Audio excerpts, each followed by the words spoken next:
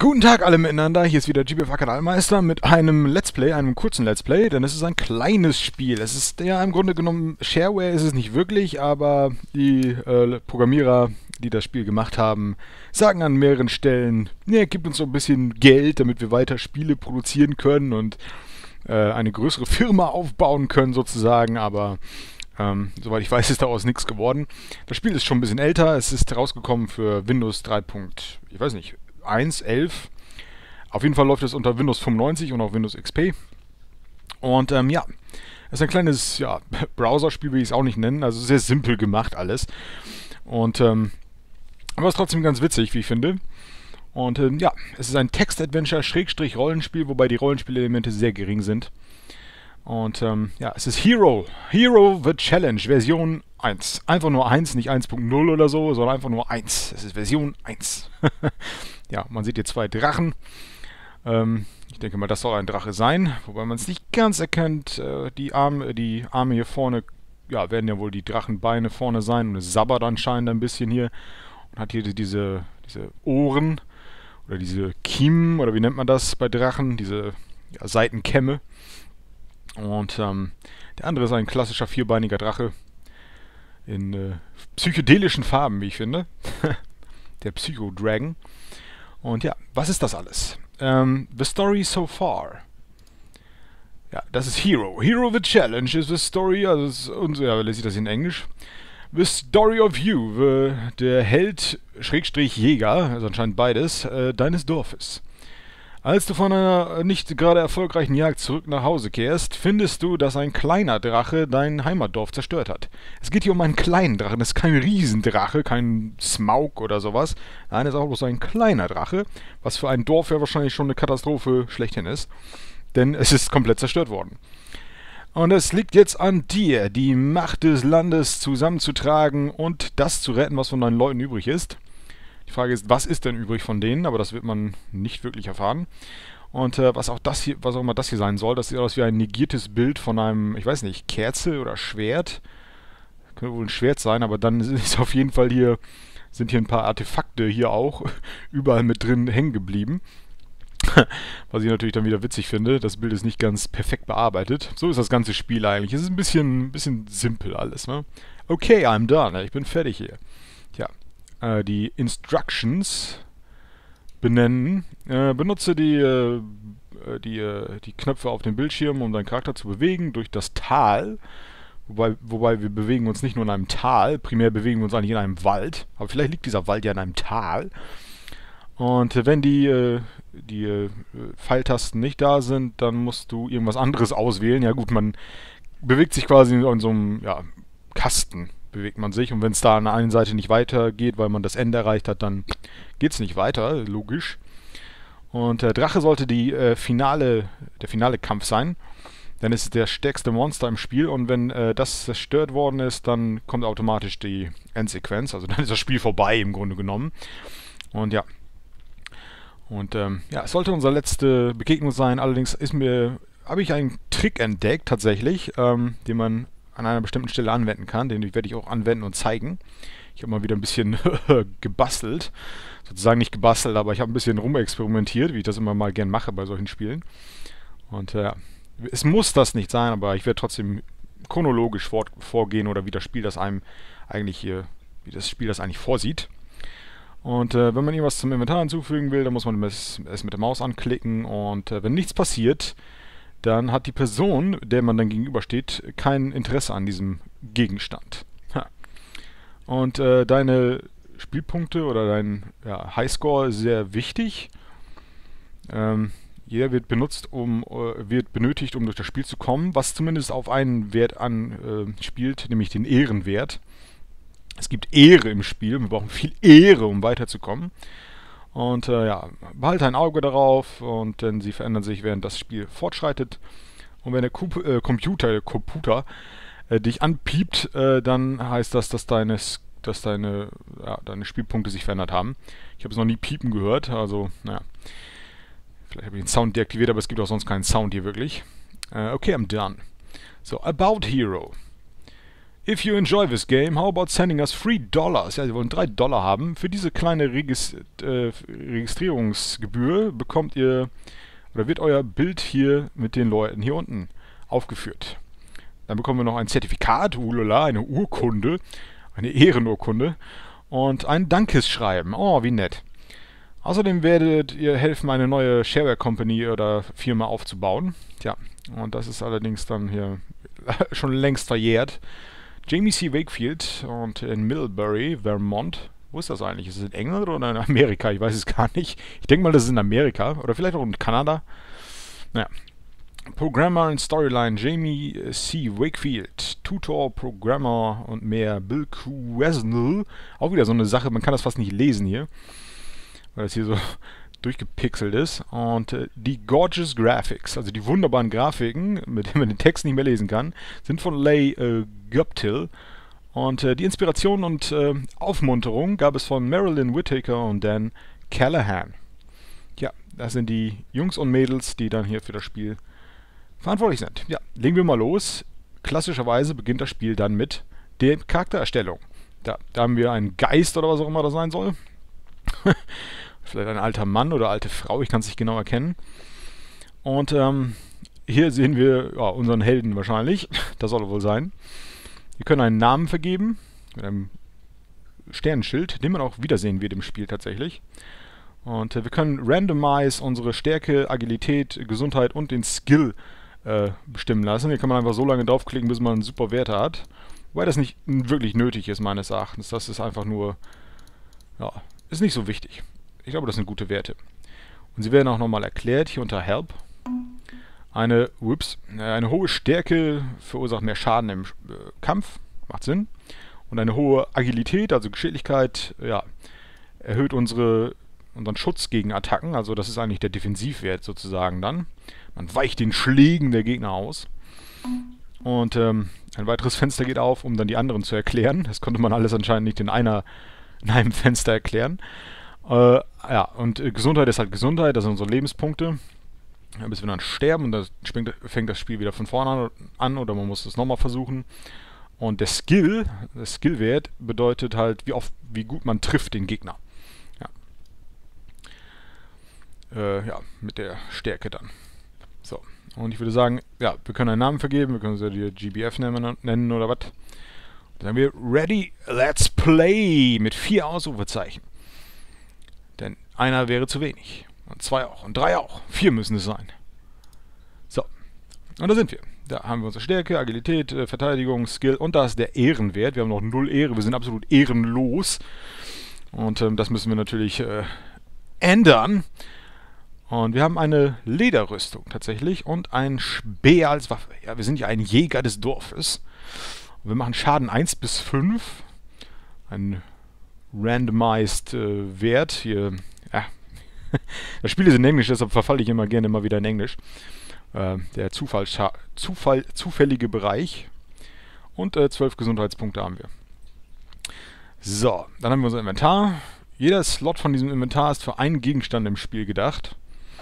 Das heißt, ähm, man kann sich gar nicht aussuchen, wo man das hinlegen will oder man kann es auch nicht verschieben. Das ein landet einfach nur in dem Pot dann und weg ist es dann irgendwann, wenn man es abgibt. Und ähm, hey, where's the picture? Ja, hey, where's the picture ist ähm, passiert manchmal, dann wird das Bild schwarz und dann kann man hier sagen, ich will das Bild wieder zurückhaben oder ich will wieder sehen, wo ich überhaupt bin, weil manchmal wird das vergessen vom Spiel tatsächlich. Und wir können auch Restart machen oder Quit, aber das wollen wir ja nicht. Und ja, das ist dann hier Text-Adventure-mäßig, so wie Taran äh, im Abenteuerland. oder Sword, the, Sword of Hope, nicht Sword and the Hope, sondern Sword of Hope und all diese anderen äh, Spiele. Und man hat hier so Entscheidungsmöglichkeiten. Am Anfang, ja, nicht so wirklich viele. Man, es gibt eigentlich nur eine Sache, die man hier machen kann oder machen muss.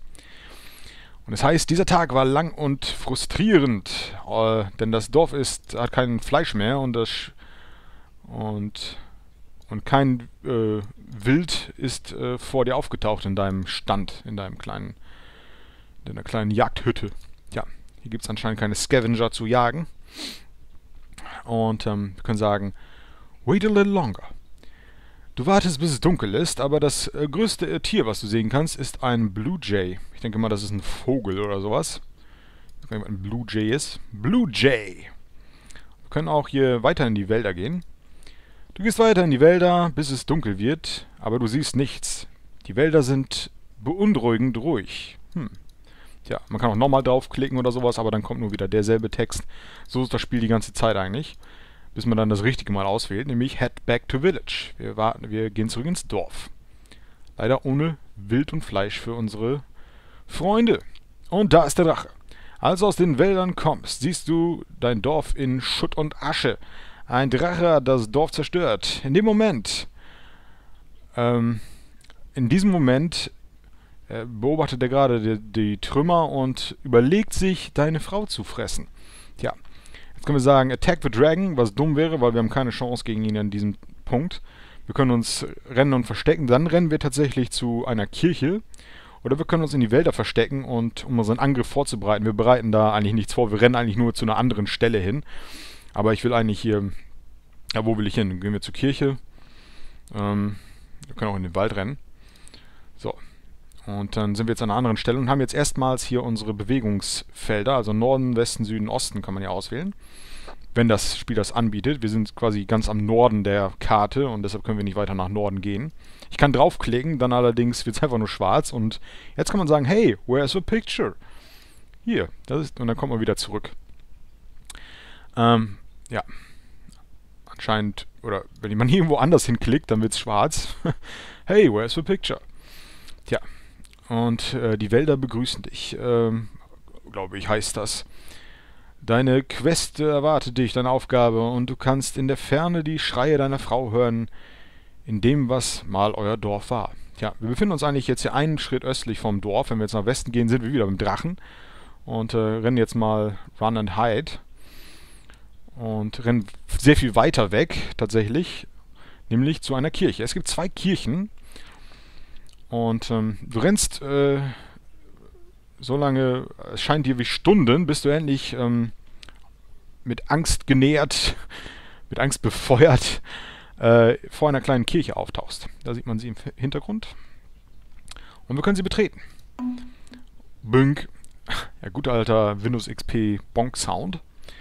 Ja, und man geht rein und man fühlt sich erneuert äh, und erfrischt. Und wir fühlen uns so stark, dass, dass wir denken, dass wir den Drachen besiegen können. Äh, Hinweis können wir nicht. Nicht mit Lederrüstung und einem Speer. Das ist definitiv nicht äh, ratsam. Ja, was kann man hier alles machen? Also man kann hier ja, sich jetzt in verschiedene Richtungen bewegen. Ähm, ja, und das meiste hiervon ist Wald. Ich denke mal, wir gehen mal nach Norden. Hier ist Wald. Sieht genauso aus wie die anderen Wälder auch. Ähm, diese Wälder kenne ich. Das Haus. Äh, wo, wo äh, ach, wessen Wälder das sind, denk, äh, weiß ich wohl. Sein Haus ist aber im Dorf. Achso. Hm. Anscheinend der Lord oder sowas. Wenn es einem Dorf einen Lord gibt. Der wird ja eher in einer Burg sitzen oder in einer Stadt. Aber egal, auf jeden Fall sind das seine Wälder, wer auch immer das ist. Aber das ist eins von diesen vielen Bildern, wo nichts ist eigentlich. Na, gehen wir weiter nach Norden. Weiter in den Wäldern. Ähm, du bist weiter in den Wäldern, als du jemals warst. Und ein kleiner, seltsamer Baum sitzt in der Mitte des Waldes. Ja, das ist dieser kleine, ja, das ist im Grunde ist das ein Weihnachtsbaum. Das kann man fast nicht erkennen. Das sind so kleine, äh, ja, kleine Lichter drauf, kleine Kugeln. Und ähm, ja, man erkennt direkt, dass es ein Gegenstand ist, den man mitnehmen kann, weil er eben ja, äh, so quadratisch ist ne? und heraussticht. Man kann draufklicken und dann nehmen wir den kleinen Baum mit. Ähm, du nimmst den kleinen Baum in dein Inventar, in deinen Rucksack, packst du den und es scheint sich ein bisschen zu bewegen in deiner Hand, denn als du es aufnimmst, äh, denkst du, dass du ein äh, mädchenhaftes Kichern hören kannst. Ja, dieser Baum ist tatsächlich eine, ja, ein Geist, der da drin haust. Eine Dryade, genau genommen, also ein Waldgeist. Den nehmen wir einfach mal so mit. Warum auch nicht? Ja. So, gehen wir nach Westen. Und wir finden hier ein wunderschönes Einhorn. das hier grast und äh, es hält an, dreht sich um und schaut uns an. Hallo? Und äh, du erinnerst dich daran, dass das ähm, Horn eines Einhorns eine mächtige Waffe sein würde. Ja, wir können das Einhorn tatsächlich angreifen, allerdings wäre das sinnfrei, weil es uns so wahrscheinlich sowieso töten wird. Ich habe es nie gemacht. Aber wir können ihm auch unsere, unser Leiden erzählen. Oder, ja. Äh, du erzählst dem Einhorn dein Leiden. Ich, äh, ich verstehe, junger Krieger. Lass mich dir helfen, so gut wie ich kann. Er, also ist keine Sie, ist hier nicht das letzte Einhorn, er berührt dich äh, leicht mit deinem Horn. Und ich glaube, es hat sich was verändert. Ich glaube, unser Skill ist jetzt gerade gestiegen, ich, und unsere Ehre ist um 5 Punkte gestiegen. Äh, glaube ich jedenfalls. Und unsere Lebenspunkte sind auch gestiegen. Also, wir haben einen kleinen Boost bekommen hier vom Einhorn. Und, ähm, hey, where's the picture? Können wir es nochmal machen? Wir können auch in still dort stehen bleiben. Und dann schaut es uns einfach nur an und äh, zieht sich in die Wälder zurück. Aber es ist ja noch da. Jetzt mache ich das nochmal. Ich erzähle Ihnen nochmal von unserem Leiden. Aber es passiert, ich kriege nicht nochmal so einen Bonus, den gibt es nur einmal. Und äh, ja, dann gehen wir wieder zurück, da wo das Bäumchen war, und wieder hin und dann ist das Einhorn tatsächlich verschwunden. Hier äh, ist es, wo das Einhorn gegrast hat. Was für eine wunderschöne Ansammlung von Bäumen und Wäldern. Oder von einem Wald. Also eigentlich ist es ja ein großer Wald. Ja. Ja, gehen wir weiter nach Westen. Du kannst dich äh, vage daran erinnern, dass du hier als Kind mit anderen Spielern aus, äh, mit anderen Kindern aus dem Dorf gespielt hast. Nun sind sie alle Krieger, so wie du. Nun, einige sind tot durch die Klauen des Drachen und den Feueratem des Drachen. Manche werden auch für später aufgehoben, wie deine Frau. es wird ein bisschen hervorgehoben, wie deine Frau. Erinnerst du dich? Deine Frau wird gerade gefressen. Sie wird nicht wirklich gefressen, bis wir nicht den Drachen besiegt haben. Und dann ist sie ja schon gerettet, also passiert das nie wirklich. Man hat ja keinen Zeitdruck. Ja. Aber das ist hier. Weiter nach Westen. Das ist dein liebster Jagdplatz. Du äh, erinnerst dich mit Wohlwollen daran, dass du an all das äh, Wild, das du hier erlegt hast und ähm, ja, für, ja, für dein Dorf. Wenn wir noch weiter nach Westen gehen, dann haben wir hier einen Pegasus. Ich konnte mir nicht helfen und musste mit ansehen, was passiert ist. Du musst dein Dorf retten und dein, dein hier, ja, dein, dein weibliches Pferd, äh, dein Mare, wie heißt es nochmal?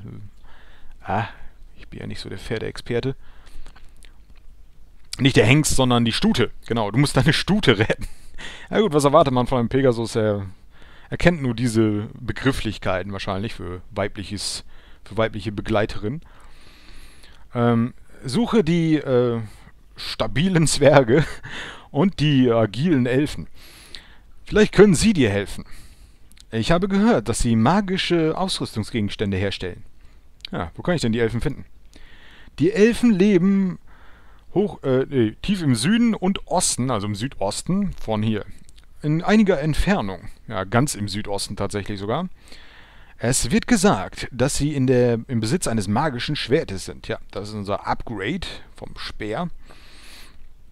Und ähm, das ist die Waffe, die wir dann brauchen. Wo kann ich die Zwerge finden? Die Zwerge leben im Osten von hier.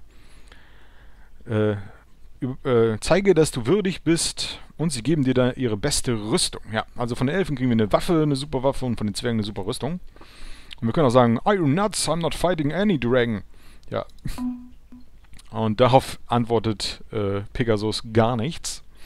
Ja, aber Pegasus gibt uns dann Hinweise, was wir so machen können oder machen sollten. Und Pegasus kommt auch immer wieder oder ist immer wieder da, dass man immer wieder ihn fragen kann. Falls man es vergessen haben sollte. Ja, und ähm, ja, hier ist es wieder der Text von wegen, dass unsere Aufgabe uns erwartet. Also wir sind jetzt quasi wieder direkt vom Dorf. Wenn wir jetzt einen weiter nach Westen gehen, dann sind wir wieder beim Drachen. Und ähm, ja, das ist das. Gut, gehen wir nach Süden, würde ich sagen, von hier. Und hier haben wir Berge, eine sehr ja, äh, dürre Landschaft, wie ich finde. Hier wächst gar nichts mehr. Direkt neben dem Wald ist hier die dürre Landschaft. Und die äh, gespaltenen und äh, ja, kaputten Purple Mountains. äh, hier hat wahrscheinlich der Drache gehaust. Ähm, angeblich sind sie entstanden, als eine Hexe und ein Dämon einen Liebesstreit hatten. Hexen und Dämonen, ne, das endet nie gut. Und no one can pass out of a... Ja, und das kann ich gar nicht lesen, weil der Text, das Textfeld geht hier nicht weiter. No one can pass out of a... Nee. Ich kann es nicht lesen. Ich kann nicht lesen, was da als nächstes kommt. Tja, da hat wohl jemand nicht aufgepasst. Aber ja, so sind die Berge entstanden durch einen Liebesstreit zwischen Hex und Dämon. Den wir auch nochmal sehen werden. Die Hexe leider nicht. Die sitzt wahrscheinlich in Taran, in Tarans Wald. Und die glühenden Purple Mountains, also Purpurberge, angeblich fanden sie sich als ein Dämon und eine Hexe so viel Magie gesprochen haben, dass der ganze Bereich hier verseucht ist jetzt äh, damit, also verstrahlt magisch verstrahlt. Und die Hitze keeps, ja, ja, keine Ahnung, die Tiere und Pflanzen wahrscheinlich weg. Also, dass die nicht kommen können. Deshalb ist das die magische Hitze, die noch brodelt in diesen Bergen. In den Purple Mountains. Ja, und noch weitere.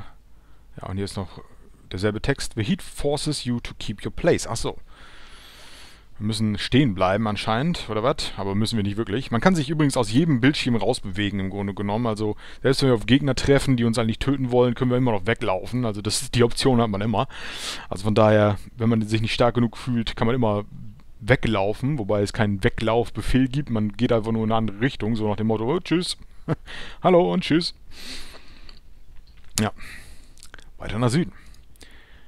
Ich bin mir nicht sicher, aber ich denke, dass das hier die Purple Mountains sind. Ja, nachdem wir sie schon so oft gesehen haben. Das ist der ganze Bereich hier von Süd nach Nord der Purple Mountains. Nur ganz im Norden ist dann wieder ein Stück Wald.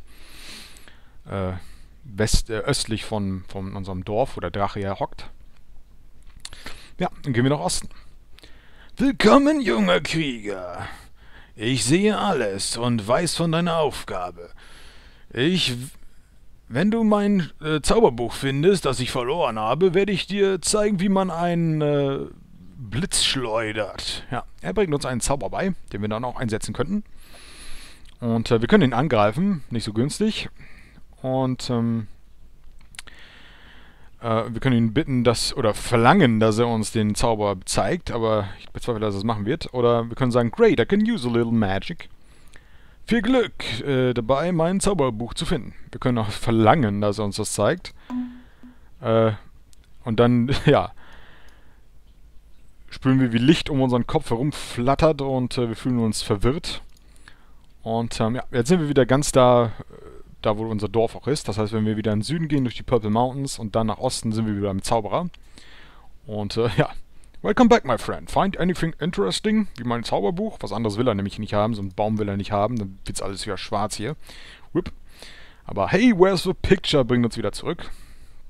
Und ähm, ja, wir haben sein Zauberbuch noch nicht gefunden. Das müssen wir suchen. Gehen wir nach Norden. Wir arbeiten uns von, von sozusagen von Spalte zu Spalte, von der linksten Spalte bis zur rechtesten Spalte hinüber. Und äh, wir finden hier in diesem Waldabschnitt einen kleinen Sch äh, Schlüssel äh, wir, äh, wir, fragen uns, was sein Nutzen wohl sein könnte. Und das ist tatsächlich auch die Frage, die ich mir stelle, wobei ich das schon einmal durchgespielt habe, denn ich weiß nicht, wofür dieser Schlüssel gut ist. Ich nehme ihn trotzdem mit. Denn äh, es heißt dann, du nimmst den kleinen Schlüssel mit und fragst dich, was du damit tun wirst. Aber du denkst, es ist auch dumm, es einfach so auf dem Waldboden liegen zu lassen. Hero. Ja. Ja, und dieser Schlüssel, ich weiß nicht, wer das Ding haben will. Keine Ahnung. Zauberer will es nicht haben. Nö. Uh, oh, why did you take my key? Because it was just laying there. Don't get snippy or I'll take a round of, out of ya. Okay, das wird wahrscheinlich ungünstig enden. Ähm, okay, das ist neu für mich. Das wusste ich jetzt gar nicht. äh, ich werde mal nett sein. Nun, das nächste Mal, wenn du irgendwas äh, von mir berührst, verwandle ich dich in einen Frosch. Denkt darüber nach. Und sie verschwindet. Okay, das war doch eine Frau dann. Diese Grafik. Und äh, du siehst deine eigenen Fußspuren im Boden. Und es scheint, als wärst du schon mal hier gewesen, ja. Uh, okay. Aber sonst hätten wir wahrscheinlich einen Kampf gehabt.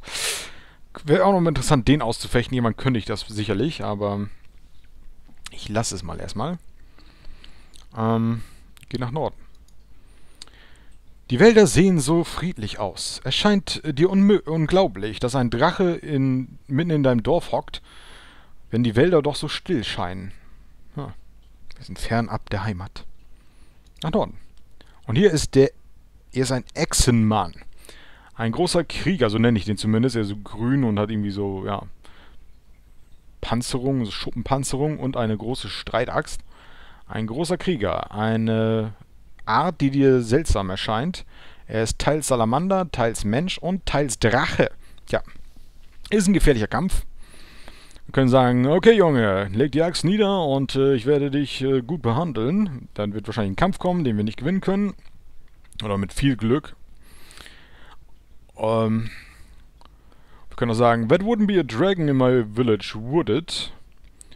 Äh, doch, das wäre es wohl, aber ich habe irgendwie Angst, irgendwie mit dem zu reden, weil der, der greift mich wahrscheinlich jedes Mal an. Oder wir können auch sagen, stirb, Abschaum! Und das wäre natürlich dann auch wieder ein Kampf. Aber wie ich gesagt habe, man kann aus jedem Kampfpotenziellen flüchten. Was ich jetzt mache. Und da sind wir wieder im Pegasus, ganz am Norden. Und wir gehen in die nächste Spalte. Das ist unser liebster Jagdplatz. Und hier ist ein Dämon mit einem blauen mm, Schwert aus Kristall und einem zweiten Schwert soll das wohl sein. Das sieht aus wie ein Blatt. Ja, aber die Hörner sind definitiv ein Zeichen dafür, dass es wohl ein Dämon ist. Wo ist die Hexe abgeblieben? Vielleicht hat sie, war sie unterlegen und ist gestorben. Da, wodurch die Purple Mountains entstanden sind. Eine schwarze und rot, rote Kreatur steht hier, als würde sie ewig warten äh, darauf, dass irgendjemand sie herausfordert. Hinter ihm äh, scheint eine, ein Loch im Boden zu sein. Ja, wir können den Dämon grüßen, aber sie steht einfach nur still, die Kreatur. Und ever waiting, ever prepared. Also einfach eine Art Wächter wahrscheinlich. Wir können angreifen. Wir können auch sagen, äh, Mann, bist du ein großer Kerl. Ich werde einfach weitergehen. Aber die Kreatur scheint uns nicht zu bemerken. Tja, sie wartet einfach nur darauf, dass jemand sie herausfordert. Wir sind definitiv nicht geeignet, um das Ding, äh, die Kreatur zu besiegen, deshalb gehen wir weiter. Noch nicht jedenfalls.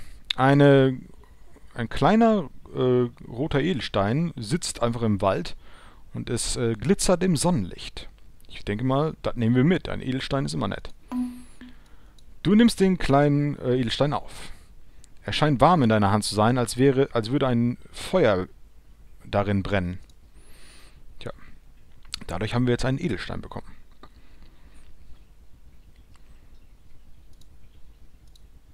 Und hier ist wieder die Kreatur. Und äh, ja, du siehst deine eigenen Fußspuren, als wärst du schon mal hier gewesen. Jupp, waren wir auch. Und wei mehr Wald. Du fragst dich, äh, wann du wieder Hand in Hand mit deiner Frau durch diese Wälder gehen kannst oder spazieren kannst. Doch, ja. Und hier ist ein äh, ätzender Geruch, der aus dem Westen kommt. Und da wir wieder ganz im Süden sind, würde ich sagen, gehen wir doch mal nach Westen. Nee, ja, Westen ist ja hier der Zauberer. Okay, der Zauberer stinkt anscheinend nach Säure. Muss ja wohl. Oder vielleicht sind es die Purple Mountains. Auf jeden Fall, ja. Wir gehen nach Osten wieder.